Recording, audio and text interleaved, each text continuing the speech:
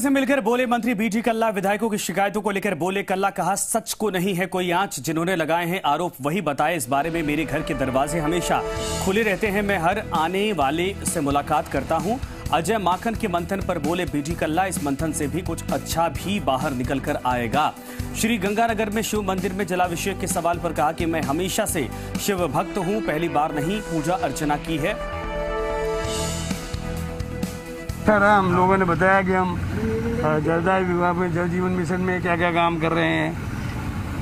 विद्युत में क्या काम कर रहे हैं अपने विभाग की प्रोग्रेस वगैरह बताइए और विस्तार फेरबदल। ये हमारे से कोई देखिए मान लो किसी जाँच के बारे में कुछ बिंदु आ जाए तो उसकी जाँच कराना गुनाह है क्या? नहीं। उच्च स्तरीय जाँच हो रही है।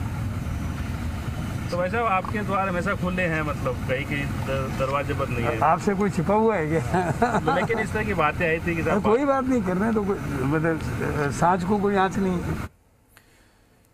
इधर चिकित्सा मंत्री डॉक्टर रघु शर्मा ने भी अजय माकन को फीडबैक दिया है, जिसके बाद मीडिया से बातचीत करते हुए रघु शर्मा ने कहा कि किसी भी मंत्री की कोई शिकायत नहीं की गई है। सरकार के सभी मंत्री बेहतर तरीके से काम कर रहे हैं और रघु शर्मा ने कहा, मेरे खिलाफ जानबूझकर खबरें चलवाई गई हैं। रघु शर्मा ने मंत्रियों को हटाने की खबरों का भी खंडन किया है। कांग्रेस प्रदेश प्रभारी अजय माकन दो दिन से विधानसभा में विधायकों के साथ संवाद कर रहे हैं। अभी चिकित्सा स्वास्थ्य मंत्री रघु शर्मा फीडबैक दे के आए हैं, उनसे बात करते हैं कि ये जो दो दिवसीय फीडबैक चल रहा है, उसके पीछे क्या मंतव्य है? कांग्रेस को मज़बूत करना। और फीडबैक कांग्रेस की पुरानी परंपरा रही है। अभी भी हम माकन साहब जो फीडबैक ले रहे हैं, कैसे कांग्रेस पूरे राजस्थान में मजबूती के साथ जनता की सेवा करे, हमारा संगठन मज़बूत हो, और हम फिर सरकार बनाए तेईस में। इस पर मंथन हो रहा है।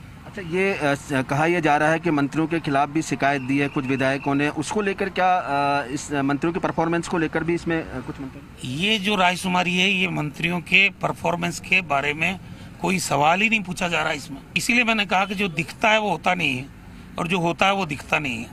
अच्छा वर्ष 2023 में राज्य कांग्रेस सरकार वापस रिपीट करने के लिए है और उसको लेकर भी इसमें अ, कुछ अ, विचार विमर्श किया जा रहा है कि कैसे वापस सरकार आए? नहीं सरकार तो कांग्रेस की बनेगी वापस।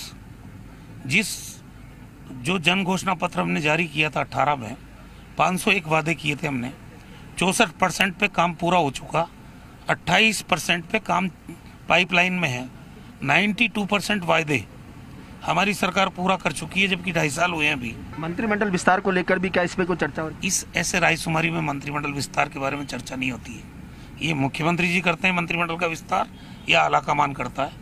वो दोनों आपस में मिलके जो करेंगे वो पूरी पार्टी को मंजूर रहता है हमेशा कोई दिक्कत अच्छा अ, दोनों जो गुट कहा जा रहा है कि जो 2023 में दो गुट हैं वो एक साथ रहेंगे तो ही कोई, आगे कोई कोई गुट नहीं है। ये तो पूरी पार्टी एकजुट है कोई दिक्कत नहीं ये थे चिकित्सा स्वास्थ्य मंत्री रघु शर्मा जिन्होंने कहा कि पूरी पार्टी एक है कांग्रेस में कोई गुट नहीं है न मनभेद है केवल मतभेद हो सकते हैं लेकिन मनभेद नहीं है। ऐसे में उन्होंने दावा किया कि 2023 में कांग्रेस वापस सत्ता में रिपीट करेगी। कैमरामैन विजय के साथ विष्णु शर्मा, जी मीडिया, जयपुर। तो आपने बयान सुना, लेकिन सुशांत बारिक हमारे साथ हमारे सहयोगी लाइव जुड़ रहे हैं, हमारे ब्यूरो हेड लाइव जुड़ रहे हैं। सुशांत, साफ़ तौर पर कल की खबरें कुछ अलग थी, लेकिन आज रघु शर्मा बेहद अटैकिंग मूड पर उन खबरों का खंडन कर रहे हैं।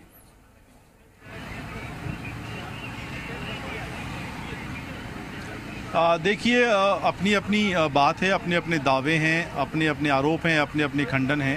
अंदर क्या हुआ है ये किसी को नहीं पता संजय लेकिन जो खबरें आई वो विधायकों के ज़रिए ही आई और न केवल रघु शर्मा बल्कि बीडी कल्ला भी कह रहे हैं कि जो आरोप लगा रहे हैं या जो जिन्होंने शिकायतें की हैं वो शिकायतों को साबित करें। केवल आरोप लगाना जो है वो काफ़ी नहीं है। सबसे आसान काम होता है ये।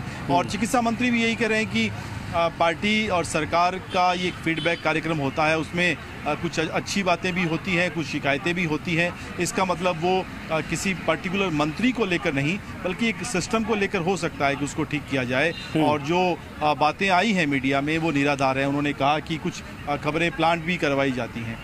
लेकिन हम कल के मुकाबले संजय आज को अगर देखें तो आज एक अलग तरीके से बात रखी गई है। आ, कुछ आ, ऐसे विधायक हैं जिन्होंने मंत्रिमंडल में युवा विधायकों को जगह देने की मांग की है। हम अभी तक हम बात कर रहे थे कि अगर पायलट कैंप से बने या फिर गहलोत कैंप से बने तो वरिष्ठ नेताओं के नाम ही चर्चाओं में थे। लेकिन मुकेश भाकर हो रामनिवास गावड़िया हो या फिर प्रशांत बैरवा हो तीनों युवा विधायक हैं और तीनों ने आज खुलकर कहा है कि युवा विधायकों को भी तवज्जो मिलनी चाहिए। इसके साथ साथ एक महत्वपूर्ण बात और संजय जी। कि जो एक कॉमन तौर पे निकल कर आई है कि ढाई साल का वक्त हो गया है पॉलिटिकल अपॉइंटमेंट नहीं हुए हैं। एक साल हो गया संगठन में कार्यकारिणी का विस्तार नहीं हुआ जिलाध्यक्ष नहीं बनाए गए और न ब्लॉक अध्यक्ष बने। तो ऐसे में दो साल बाद ढाई साल बाद जब चुनाव में जाएँगे तो बहुत परेशानी आने वाली है। और यही कारण है कि कल पहले अजय माकन का आज शाम को देर रात तक वापस जाने का कार्यक्रम था लेकिन अब अजय माकन ने अपना एक दिन बढ़ा दिया है और कल पीसीसी में वो पीसीसी के पदाधिकारी और अग्रिम जो संगठन हैं उनके पदाधिकारियों से संवाद करेंगे। यानी वो भी चाहते हैं कि जब फीडबैक लिया जा रहा है तो थोड़ा सा इसको और वाइड किया जाए। केवल विधायक नहीं बल्कि संगठन के लोगों से भी सुझाव लिए जाएँ और ताकि इसका जो असर है इस फीडबैक का मंथन का वो व्यापक और बड़े पैमाने पर दिखाई दिए दिखाई दे। और शिकायतों पर हम यही कह सकते हैं कि पार्टी न केवल इस फीडबैक के लिए बल्कि राहुल गांधी की टीम ने अपना सर्वे करवाया है। मुख्यमंत्री अशोक गहलोत का अपना एक रिपोर्ट कार्ड है मंत्रियों को लेकर।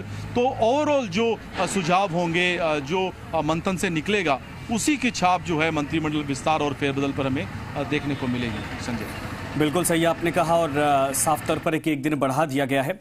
खबर यह है भी कि मुख्यमंत्री भी क्या विधायकों से मुलाकात करेंगे?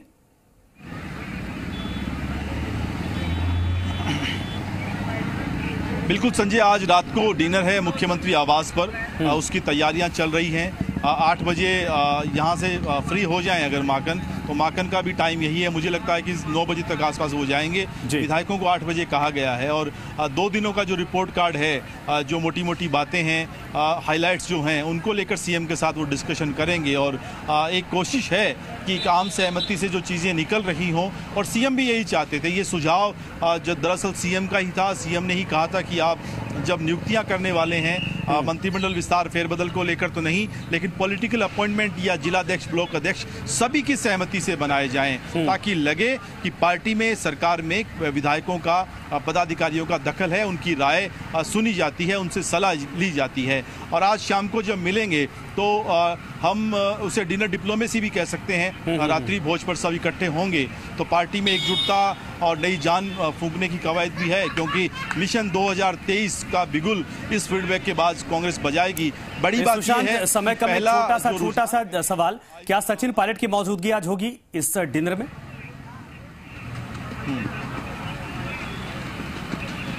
अभी तक नहीं है संजय। अभी तक सचिन पायलट नहीं आए हैं और लगता नहीं है कि वो आज इस कार्यक्रम में मौजूद रहेंगे। लेकिन चूँकि वो फ़्लाइट से भी आ सकते हैं शाम तक अगर वो पहुँचना चाहें निश्चित तौर पे ये बड़ा सवाल है कि सचिन पायलट रहेंगे या नहीं नहीं रहेंगे और सबकी नज़रें इस बात पर रहने वाली हैं। बिल्कुल, धन्यवाद इस पर तमाम जानकारी के लिए। साफ़ तौर पर यह कि शाम को डिनर डिप्लोमेसी होने वाली यानी मुख्यमंत्री की तरफ़ से ये सभी विधायकों को भोजन पर बुलाया गया लेकिन इसके पहले इस वक्त जय माकन तमाम विधायकों से मुलाकात कर रहे और आपने देखा, रघु शर्मा ने भी तमाम आरोपों को एक तरह से खंडन किया है। तो फ़िलहाल